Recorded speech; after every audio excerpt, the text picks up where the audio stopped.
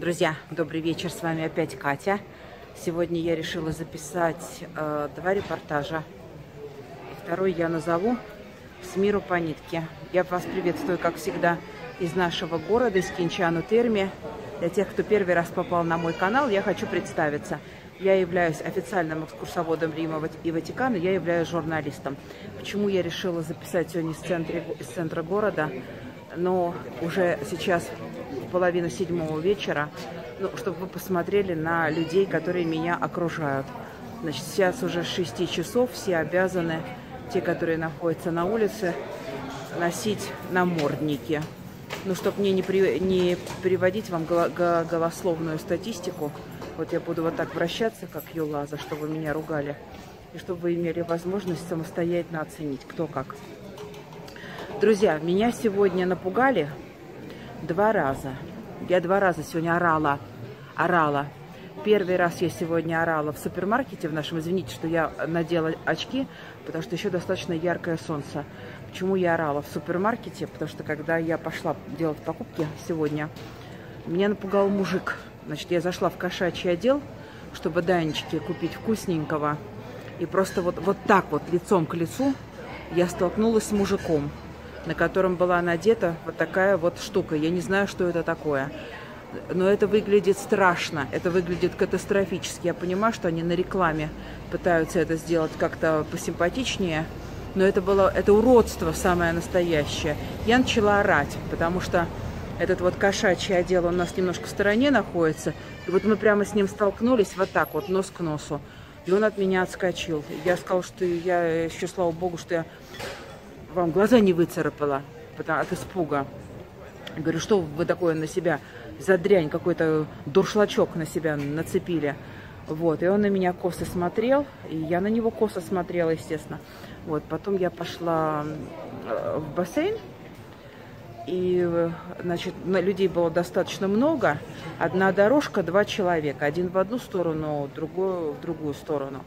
И вот можете себе представить, я в бассейн залезла, смотрю, женщина ну, на соседней дорожке с ребенком в розовом купальнике и в маске, в розовой, под цвет купальника. Она ребенка учила плавать. Ну, в общем, я плыву, плыву брасом. Вверх-вниз, вверх-вниз, вверх-вниз. И вижу, что напротив, э, навстречу мне, по, по моей же дорожке, но рядом, плывет мужик, плывет кролем. То есть вот так вот голову поворачивает и прямо идет на меня. Я так в сторону подвинулась, смотрю, он тоже двигается. Я в последний момент крикнула, я говорю, мужик, куда прешь? Он голову поднял, и он был тоже в наморднике черного цвета. У него были черные плавки, я потом под водой видела. И под цвет плавок у него был намордник черного цвета.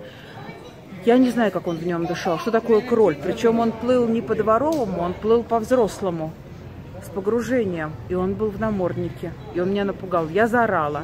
Говорю, что случилось? Я говорю, меня напугали вашим намордником. Говорит, все должны носить с сегодняшнего дня, вечером все. Я говорю, вы с ума что ли сошли плавать в такой гадости? Ничего, не это, поплыл дальше. Вот.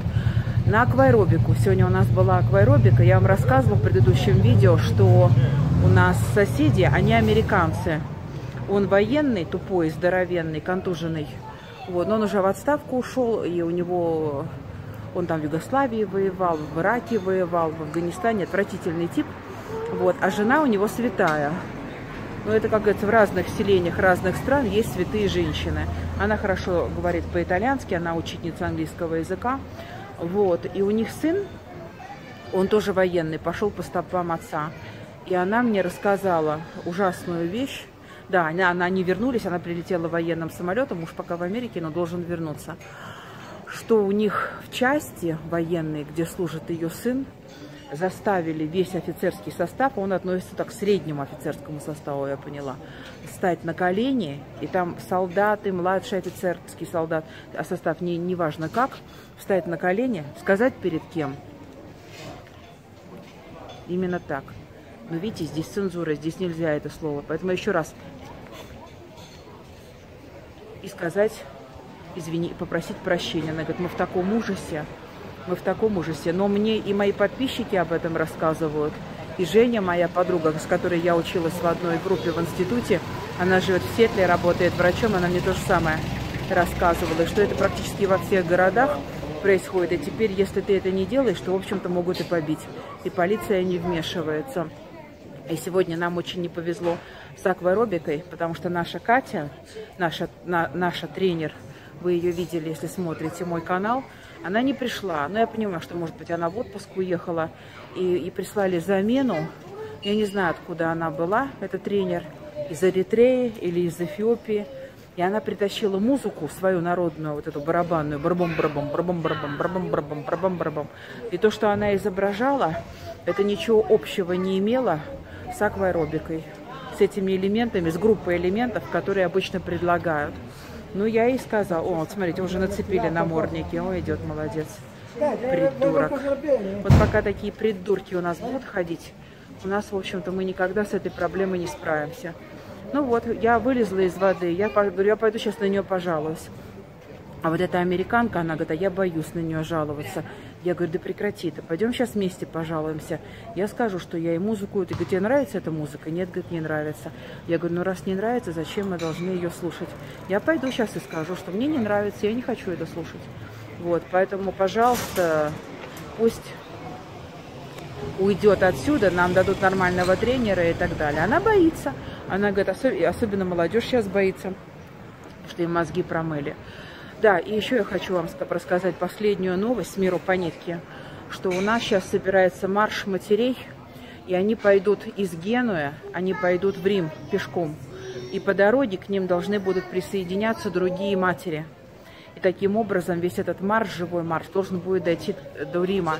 По-моему, они планируют в Риме быть 27 числа, 27 августа.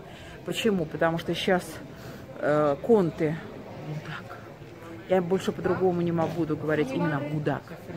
Он а, сделал такой указ вместе с аспиранцией, с другим таким же, что если, допустим, малыш в школе заболевает, ну как там, носик у него там засопливился, кашлянул, но это с каждым ребенком бывает, что ты не имеешь права, школа не имеет права, преподаватель звонить матери или отцу, они должны сразу вызывать АЗУ.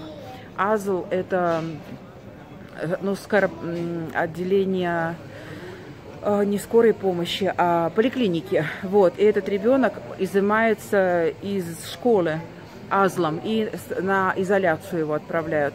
То есть вот представьте на секунду, мама пришла домой, э, или папа пришел в школу, или мама, или папа, вот, и забирать малыша. Малыша нет, его забрали на изоляцию, забрал его азл. Что с этой матерью может произойти? Я не знаю. Я не могу даже себе этого представить. Я бы сошла с ума, наверное. Я бы сошла с ума. И где искать, ты не знаешь.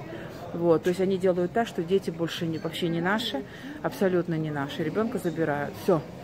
И ты ничего не можешь сделать таким образом. Может сойти с ума. Вот если, допустим, неустойчивая психика, не, стресс, не стрессоустойчивая, такая женщина, она придет домой и наложит на себя руки. Вот. И вот этот марш матерей, он пойдет в Рим для того, чтобы этого не происходило, потому что это невозможно, чтобы это происходило. Но пока вот эти придурки будут ходить в намордниках своих, в общем-то, всегда будет повод у местных властей это все безобразие продолжать. А я смотрю на их намордники, я их ненавидеть начинаю из-за из этого, из-за того, что они так прогибаются. У нас жарко, ну как, не то, что у нас прямо там очень сильно жарко, но все равно, вот. Какой, какой, какой вирус, какой грипп, о чем мы говорим с вами.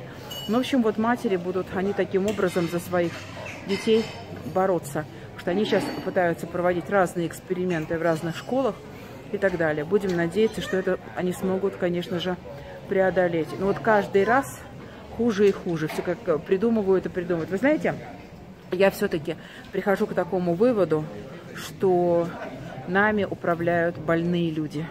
Нами управляют люди, которых надо лечить галоперидолом, психиатрия. А они каким-то образом оказались власть придержащими. Вот, и еще требуют, чтобы мы, вся, вся планета прогнулась под ними. Вот что произошло. И это кошмар, конечно. И вот мне кажется, что все вот эти наши лидеры государств, которые готовы за сумку за 80 тысяч евро продать весь свой народ, и даже детей, детей в первую очередь, детей не трогайте, они детей трогают. Они, жалко, что отменили смертную казнь. Потому что мне кажется, что если бы вот такие вещи будут происходить, и мне бы там сказали, допустим, возьми в конты. Мне кажется, я бы сделала бы, вот, если бы мне сказали, сможешь расстрелять конты, я бы сказала бы, смогу. Я не хочу стараться выглядеть хуже или лучше, чем я есть. Вот я вам показываю людей, смотрите, видите, кафе потихоньку занимаются, вот. Но я бы это сделала, детей, беззащитный ребенок, взять и забрать. Я не знаю, как это вообще, кто это сможет сделать, кто эти службы, которые смогут это сделать. Вон еще одна хрюня идет. Вот это вот, о, тоже черненькая маска. Тьфу, противно смотреть на все на это. Ну, в общем, вот так, друзья. Спасибо большое, что смотрите. Увидимся завтра.